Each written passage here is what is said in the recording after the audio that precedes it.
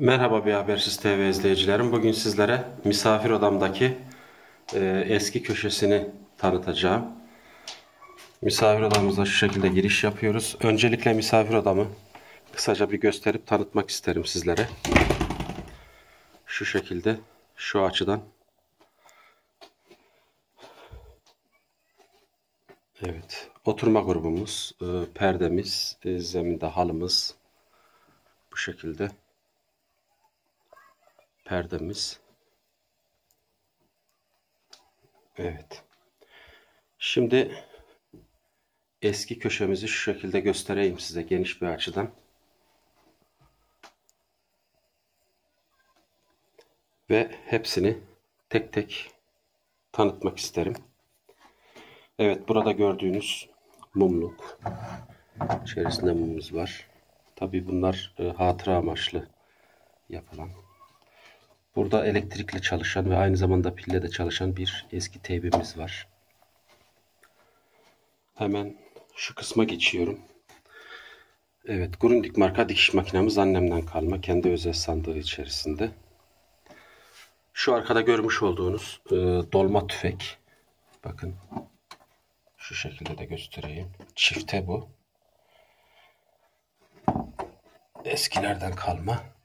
Şu ağız kısmından dolduruluyor ve e, o şekilde ateş edilen bir dolma tüfek. Şurada yine annemden kalma eskilerden e, bulgur e, eleği bu. Şurada tütsülük deniyor bunu. Sanırım pirinçten yapılma bir malzemesi var. Bakır sürahimiz, bakır kazan. Şu görmüş olduğunuz tören kılıcı subayların törende kullandığı kılıç. Evet burada küçük e, süs eşyaları bunlar. Şu şekilde yine.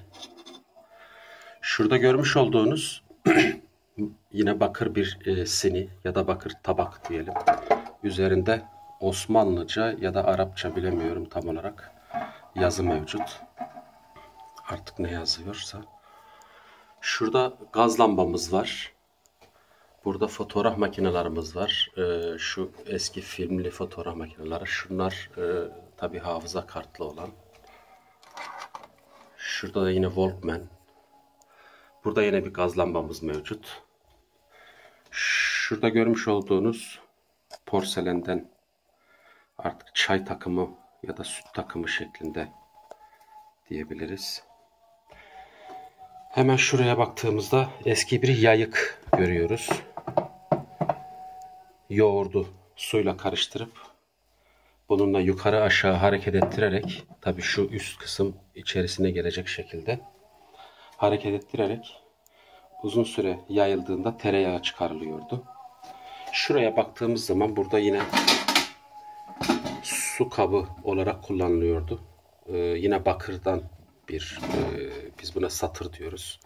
Burada yine bakır tabağımız. Bakır yine tasamız mevcut. Burada yine bir bakıraç şeklinde bakırdan yapılmış. Muhtemelen yine tereyağlık tarzı bir şey sanırım. Ee, burada semaver. Yine bakırdan bir eski semaver mevcut. Tabi şurada bu e, eski heybelerden kalma. Şurada yine ok var. Şuraya baktığımızda yine bunlar da gaz lambası. Tabi bunlar yeni yapım gaz lambaları. Burada yine hançer. Burada yine sedef işlemeli. E, süs eşyası niteliğinde tabanca. Burada yine e, süs eşyası niteliğinde derece. Ve yine aynı şekilde hançerimiz mevcut. Çiftli. Ve yine aynı şekilde güncel yapım gaz lambası mevcut. Şu üstteki saati de göstermek istiyorum. Size bunu özel yaptırdım. Ben tarihte Türk devletlerinin hatıra paralarından oluşan bir saatimiz bu. 16 Türk devletinin bayrağını üzerinde taşıyan 16 adet paradan oluşuyor. Evet sevgili bir Habersiz TV izleyicilerim. Şöyle geniş açıdan da yine gösterip paylaşmak istiyorum sizlerle.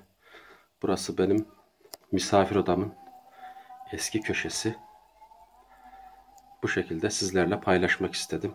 Herkese sağlıklı güzel günler dilerim. Kalın sağlıcakla diyorum.